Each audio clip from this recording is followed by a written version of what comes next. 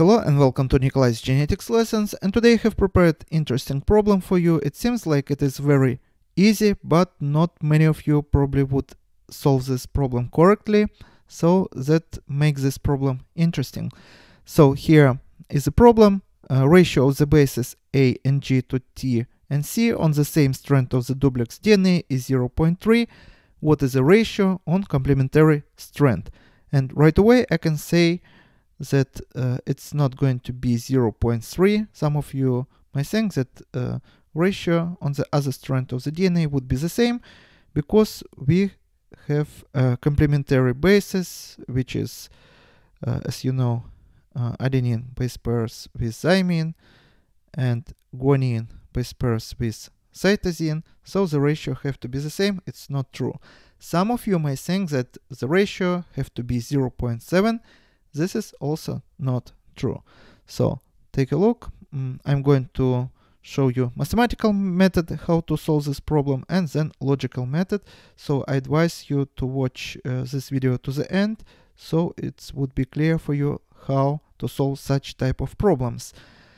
And uh, again, we have a ratio according to our problem uh, of the bases A and G to bases T and C on the same strand of the double-stranded DNA and the ratio is 0.3 and many of you can agree with me that uh, it is the same as 0.3 divided by 1 so uh, anything divided by 1 would be the same number.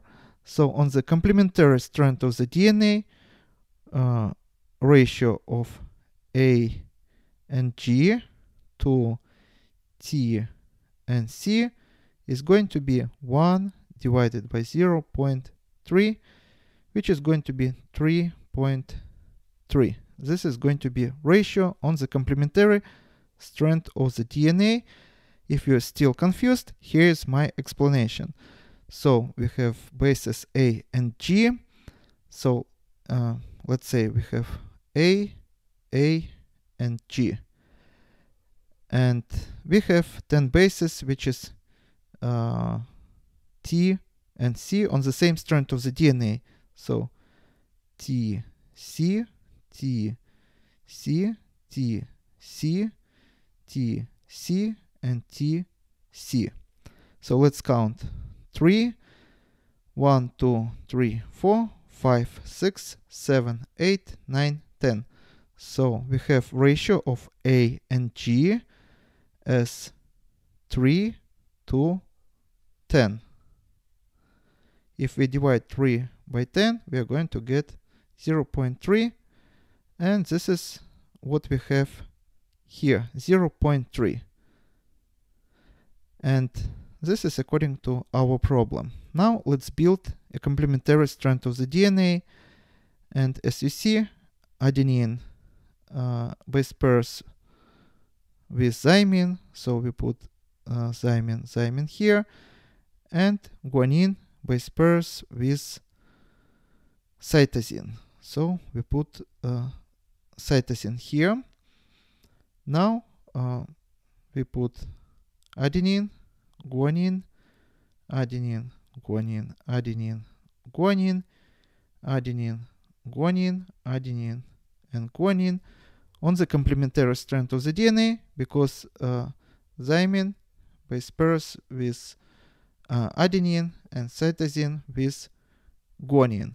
And now what uh, is going to be our ratio? Our ratio of uh, A and G would be 10 to T and C, which is 3 here, so would be uh, 3.3.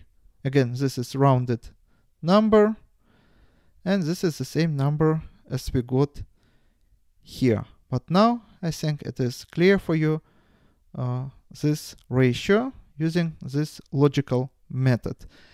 And this is all for today. Thank you for your attention. Please subscribe for my new videos that I post almost every day and see you in the next video. Goodbye.